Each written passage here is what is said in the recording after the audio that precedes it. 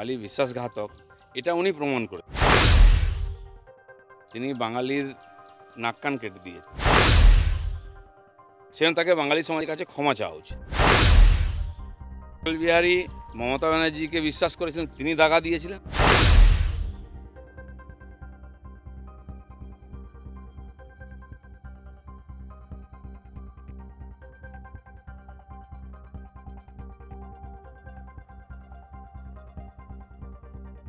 দেখুন তিনি জীবনে সাত বছর তার রাজনৈতিক জীবন সাত বছরই মন্ত্রী ছিলেন। আর উনি বাঙালি বলে হয়তো ওনাকে মন্ত্রী করা হয়েছিল। তিনি বাঙালির নাক কান কেটে দিয়েছেন। মোদিজির সঙ্গে ধোকা করেছেন। বাঙালির দাগাবাজ বাঙালি বিশ্বাসঘাতক, এটা উনি প্রমাণ করেছেন। বাঙালির মান সম্মান নষ্ট করার জন্য বাবুল সুপ্রিয় দেয়। এরা হচ্ছে সুযোগ সন্ধানী বাঙালি। এই ইমেজ উনি তৈরি করলেন। অটল বিহারী মমতা ব্যানার্জিকে বিশ্বাস করেছিলেন, তিনি দাগা দিয়েছিলেন। মোদিজি বাউল সুপ্রিয়কে বিশ্বাস করেছিলেন তিনি দাগা দিয়েছেন। বাঙালির ইমেজ বাঙালি যে বিশ্বাসঘাতক দাগাবাজ এটা ওনারা প্রমাণ করছেন। সেজন্য তাকে বাঙালি সমাজের কাছে ক্ষমা চাওয়া উচিত। শুভেন্দু আজ বড় বড় কথা বলছেন ওর বাবা আর ভাই তৃণমূলেরই বড় বড় পদ এখনও ছাড়েননি দেখুন কে কোন পদ থাকবে ছাড়বে সেটা ওদের ব্যাপার। কেন ছাড়বে ওরা? জিতে এসছে ওরা। দয়া করে কেউ দিয়েছে নাকি? বাংলাদেশের ইস্কন মন্দিরে ফের হামলা। মুখ্যমন্ত্রী বিভিন্ন ইস্যু নিয়ে কথায় কথায় টুইট করেন? উনি বাংলাদেশের ব্যাপারে পর্যন্ত নীরব।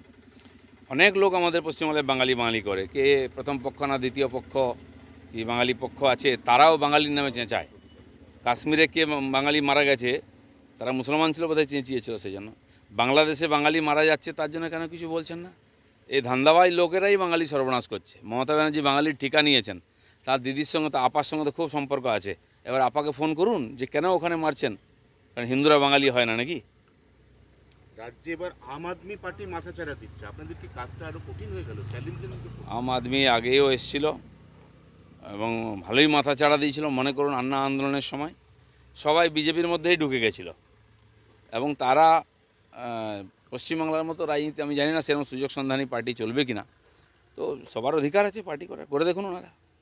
দলে কি মুখের অভাব? যদি তাই না হয় তাহলে আবার কেন অগ্নিমিত্রা পাল? কারণ অগ্নিমিত্রা পাল যদি জিতে যান, তাহলে তো আসানসোলে আবার একটা বিধানসভা উপনির্বাচন করতে হবে, মানুষের করের টাকায় আবার ভোট। চাপিয়ে দেওয়া হলো মানুষের উপর মমতা ব্যানার্জি তিনবার ভোট করাতে পারেন, আমরা দুবার করাতে পারি না। সেজন্য পার্টি যাকে যোগ্য মনে করেছে, দিয়েছে, তিনি ওখানে পরিচিত মুখ, ওখানকারই মেয়ে। আমিও তো বিধায়ক থেকে সাংসদ হয়েছিলাম একই জায়গায়। তো রাজনীতি চলতেই থাকে। টিএমসি সব করতে পারে। বাবুল সুপ্রিয় ওখানে ছেড়ে এসে এখানে কেন দাঁড়িয়েছেন? তাকে প্রশ্ন করুন আগে। No va.